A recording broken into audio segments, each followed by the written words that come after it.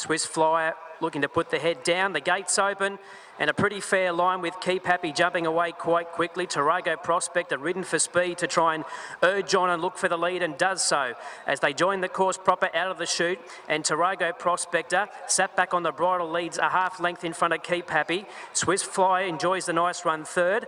And last of the quartet the inform the Soprano coming up towards the winning post with a lap to go. And it's Tarago Prospector in front. About a half length but racing one off the fence a half length in front of Keep Happy.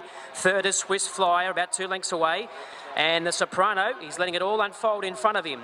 Down the side of the track they go, and it's Keep Happy the inside and Tarago Prospector. These two now taking each other on where Keep Happy now digs up and holds the lead. Three parts of a length in front of Tarago Prospector.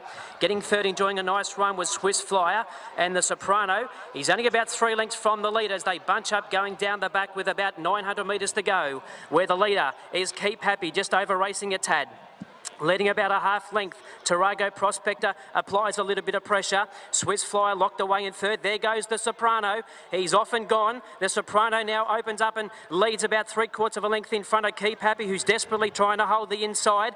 They're about three or four lengths away from Tarago Prospector, and Swiss Flyer is last of the four, up to about the 450 metre mark, and Keep Happy leads about three quarters of a length in front. The Soprano under pressure but finding. Then about two lengths away, we've got Swiss Flyer and Tarago Tarago Prospector. But around the home corner, it's Keep Happy. It's in front, about a length and a half clear. The Soprano trying hard the outside. Swiss Flyer back to the inside. And right out wide, here comes Tarago Prospector. But Keep Happy still in front with about 100 metres to go. It's got right away from the Soprano. And Keep Happy, it was taken on, but found under pressure. And Keep Happy will go on to win by about three or four lengths to the Soprano second. Swiss Flyer third. And Tarago Prospector was last of the quartet score.